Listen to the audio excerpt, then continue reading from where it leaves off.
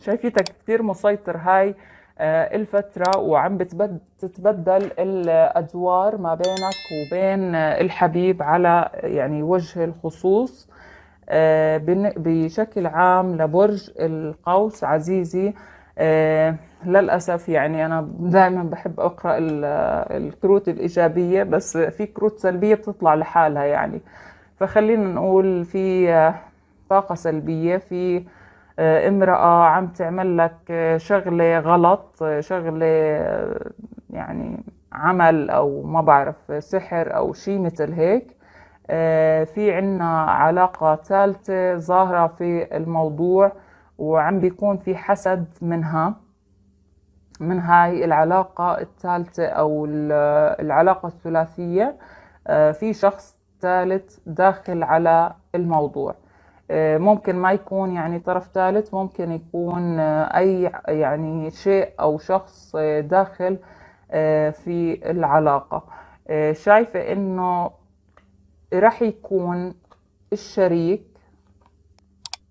أو ممكن يكون للناس السناقل ممكن يكون شخص الجديد أو فارس الأحلام. أنا شايفة مواصف يعني مواصفات فارس الأحلام. وحتى لو كنتوا منفصلين فهو نفس الشخص فارس الأحلام عم بشوفه يعني جاي بعرض بشيء معين يعني جاي والفرحة على وشه. آه، ولكن أنت رح يكون في عندك بعض الصراعات الداخلية من هاي العلاقة وبعض التشويش. آه، يعني أوكي يعني فرحان رح تكون بالرجوع وكذا آه، بس بنفس الوقت خايف إنه المشاكل تتكرر وخايف إنه العلاقة ما تكون مثمرة أو ما تكون لها يعني إلها نهاية حلوة أو خايف أكتر إشي من الشريك. هذا الشخص نفسه هذا الشخص اللي مبين بالصورة. فالباين إنه أنت في عندك صراعات آه، بينك وبين حالك إنك هل تعطي هذا الشخص فرصة آه، أو لا. والباين إنك أنت رح تعطيه ولكن بتوجس آه، بخوف معين رح يكون في عندك خوف شوي من هذا الشخص. لكن سرعان ما هذا الخوف يتبدل آه، ويصير سعادة. أنا شايفة في سعادة في الموضوع في توازن في نصر عم بتحققه على هذا الشخص أو على آه، الشخص الثالث لأنه شايفيتك آه، مبسوط وطاقتك يعني نارية عم بتكون كتير مشاعرك نارية تجاه هذا الشخص. أنت عن جد بتحبه ولكن آه، عم بتفكر شوي بلشت تفكر بعقلك شوي أكثر من قلبك بهاي الفترة. والقوس يعني معروف بفكر بقلبه بعقله يعني بذات الوقت آه، فرد مرة. بس آه، بهاي الفترة أكثر رح تكون صارم مع الشريك. رح تكون مبسوط بس بنفس الوقت صارم مع الشريك. رح تغير معاملتك معه عن سابق عهدك. أول شيء كنت بتعامله آه، بطريقة يعني حنونة زيادة. كنت عم تعطي زيادة في العلاقة.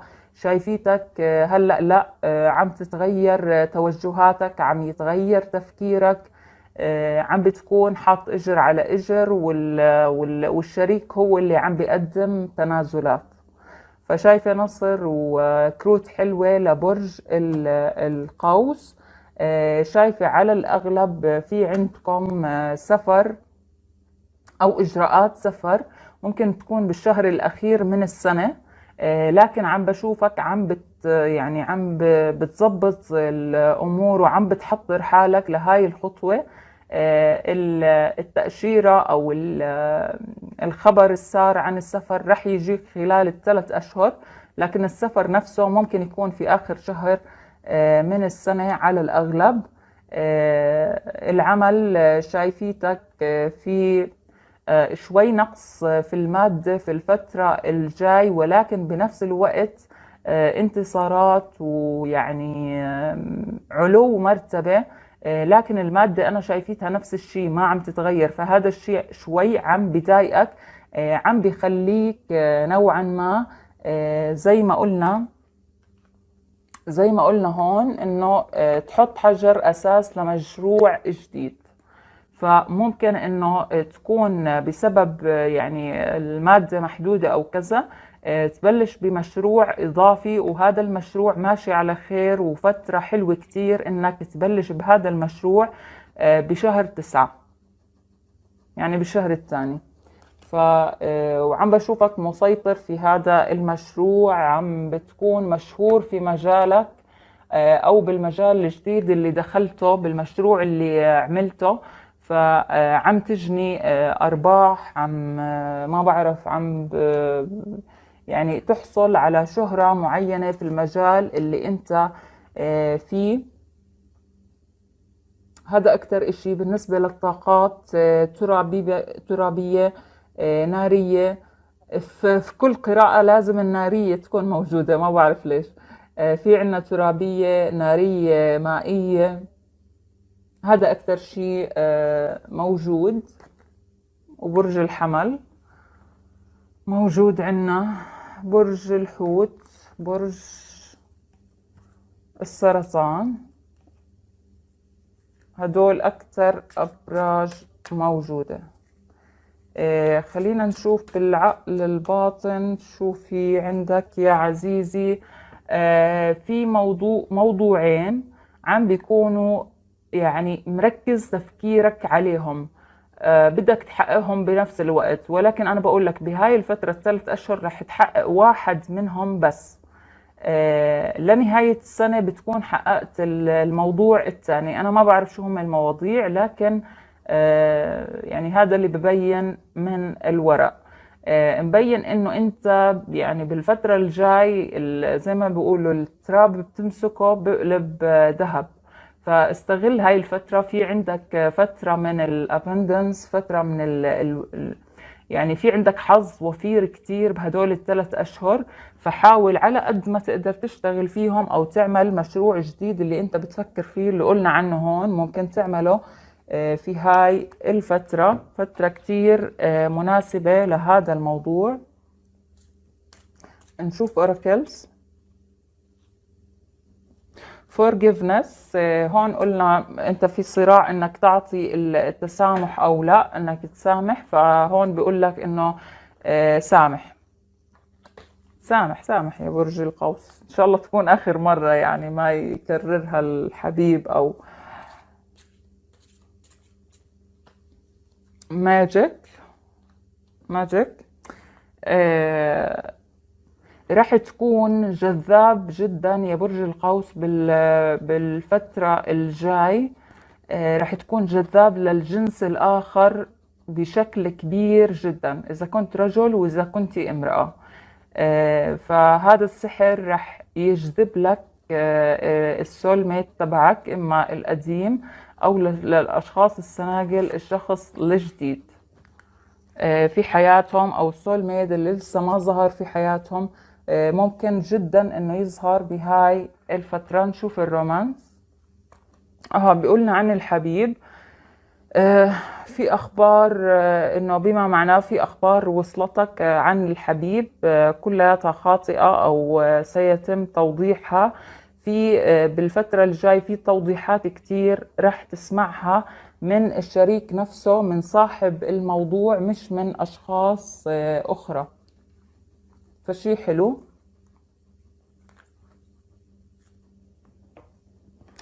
أه بقول لك هون شفنا في صراعات وكتير وانه العقل والقلب وكذا. بقول لك do what feels right.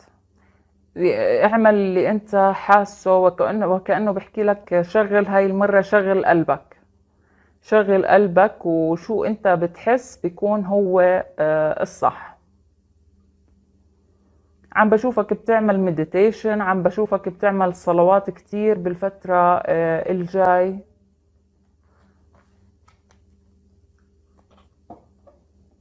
بقول لك go deep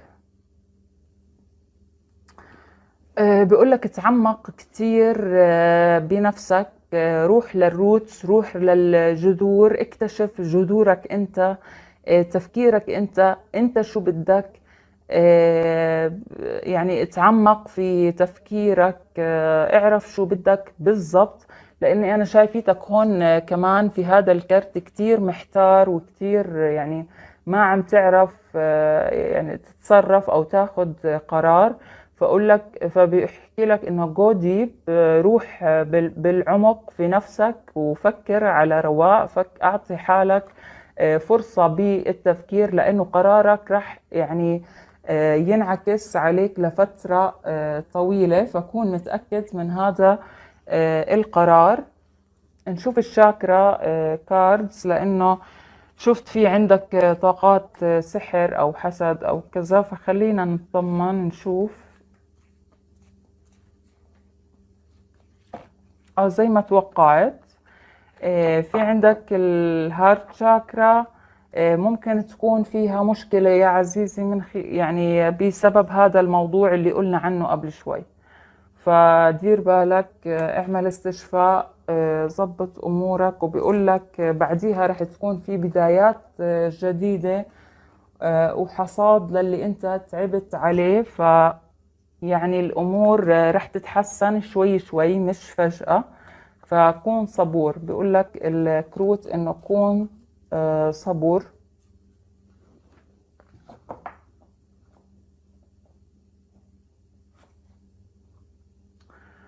آه بيقول لك هون إنه آه الموضوع قد ما كان كبير قد ما كان آه صعب فأنت قادر إنك تعمله بالفترة آه الجاي. في رح يكون عندك عناية إلهية آه مثل مثل هيك شيء عناية من الملائكة.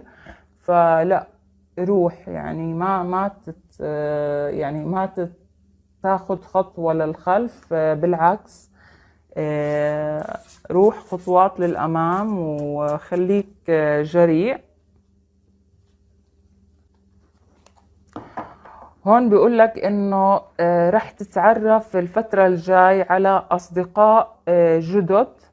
بيقول لك دير بالك من أشخاص منهم يعني الأشخاص الجديدة في حياتك يا برج القوس بالفترة الجاي آه، كون متأكد من آه، هدول الأشخاص ما تدخل أي شخص على آه، حياتك وخاصة من الجنس الآخر ما تدخل أي شخص بدون ما تتأكد مية بالمية منه. شايفة شخص شوي غريب عن ثقافتك إذا كانت مواصفاته هذا الشخص.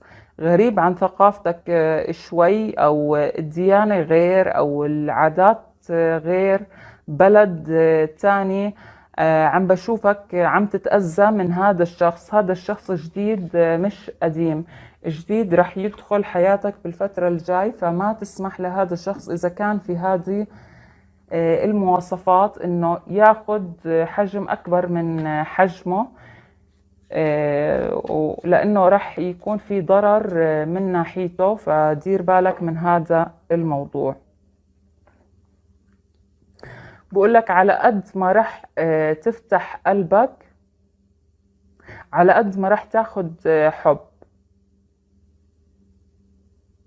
وهذا الحب بيقول لك شاركه مع الناس اللي حواليك ما تحتفظ فيه لحالك. إذا كنت آه، عندك آه، مشاعر آه، اعمل شيرنج مع التانيين مع اللي حواليك مع أولادك.